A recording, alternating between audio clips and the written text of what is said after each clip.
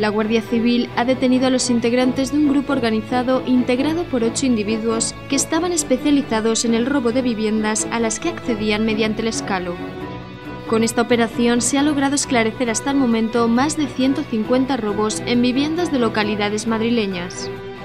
En los cinco registros practicados se ha recuperado infinidad de efectos que están siendo reconocidos por sus legítimos propietarios, encontrando también placas policiales utilizadas para acceder a las viviendas y dos armas simuladas.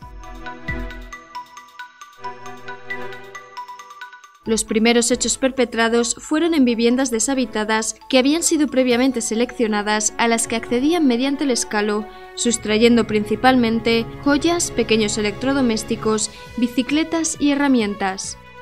Los últimos robos que cometió este grupo criminal fueron en viviendas con los propietarios en su interior, intimidando a sus moradores para lograr sus objetivos, hechos que han permitido la plena identificación de todos los integrantes